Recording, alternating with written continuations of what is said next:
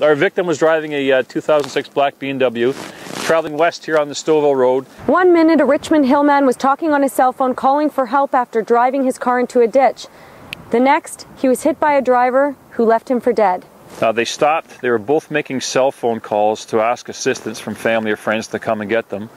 And unfortunately, at this time, there was a vehicle traveling eastbound on the Stouffville Road and it came into contact with our 34 year old male driver. It appears that the couple were out for supper before coming down Stouffville Road and then, for unknown reasons, crossing the center line and going down into the ravine. After they had made their way back up and the man was struck, police estimate that he fell about 60 to 70 feet before landing next to a tree and dying at the scene the key safety message here is to get as far away from the roadway as you can. Get to a place of safety, get to a higher point, but always be aware of your surroundings, especially at dark at night.